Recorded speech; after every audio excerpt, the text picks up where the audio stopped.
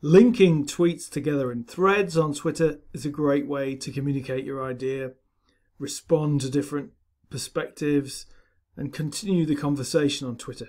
I'll show you how it works in this video. So when you write a tweet, you have the option to click the plus button and that immediately opens up a second tweet and other additional tweets as well. Each one can have their own images, GIFs associated with it, but it's a continuation of your story. So this is tweet two. We'll say GIF. We'll choose one of these and then say tweet all.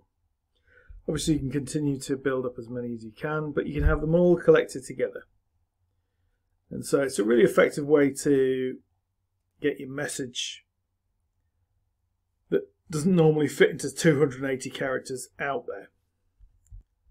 Likewise, when you hit reply, that links the tweets together as well. So you see this line comes down and somebody can follow the pattern of the tweets.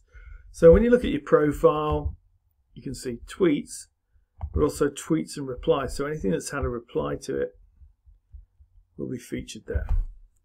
And essentially, it could be used as a pin tweet like Deborah Lee's done here to tell a bit of a story. And the way to spot one of these threaded tweets is to say, show this thread, and you can see all the associated messages and also the replies received.